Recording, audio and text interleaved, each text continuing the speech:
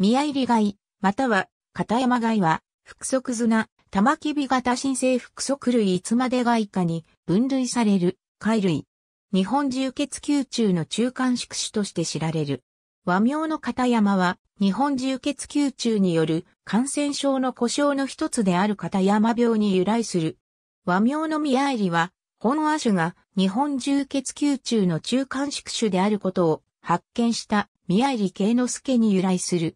宮入貝の名は発見者の宮入慶之助に、片山貝の名は日本重血球虫症の症状を書き記した19世紀中頃の書物片山記に由来する。日本固有足模式標本の産地は福山市神鍋町片山。以前は関東地方から九州北部にかけて局所的に分布していた。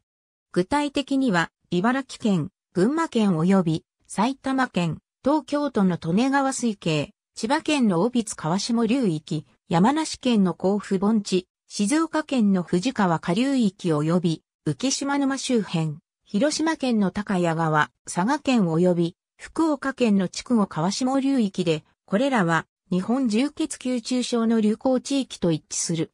拡張6から 8mm。各径2.8から 3mm。羅層が膨らみ、縫合が深い。殻の表面は滑らか。殻は、立褐色ないし、高褐色、赤褐色で厚く、光沢がある。薪は八回。小持ち皮壺に告示するが、本種の方が大きくて細長く、辛口外心が飛行する点で区別できる。アンカマラニアハペンシスの亜種とされるが、独立種とする説もある。原名亜種 OH ハペンシスは中国長江流域に分布する。水田地帯にある水路の止水域の泥底に生息する。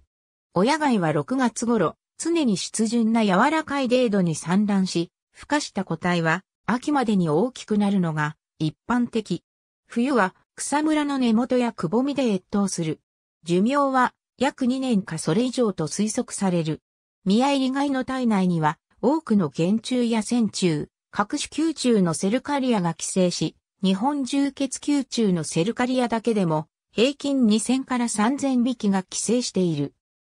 宮入貝供養費岡山県での方言名として七巻貝がある。日本重血球虫の中間宿主となり、人がこの球虫に侵入されると観光変などを引き起こし高い確率で死亡する。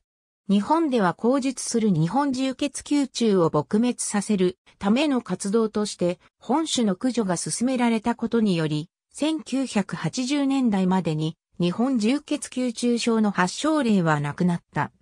一方で本種の駆除活動として水路のコンクリート舗装が挙げられるが、これが全国的に急速に普及したことにより、水田などに生息する他の貝類も生息数が減少したという弊害もある。1920から1960年代にかけて行われた日本重血球虫を撲滅させるための活動により多くの生息地では絶滅した。また、日本重血球虫症の撲滅後も生息地の破壊、農薬汚染の影響を受けて減少していると考えられている。広島県では近年は記録がなく、絶滅したと考えられている。福岡県では1980年代以降は、発見例がなく絶滅したと考えられ、最後の生息地であった久留米市宮の陣長宮瀬には、宮入外区用碑が建てられている。千葉県では、帯津川流域を除き、絶滅した可能性があり、唯一の生息地でも2014年以降は、確認が困難となっている。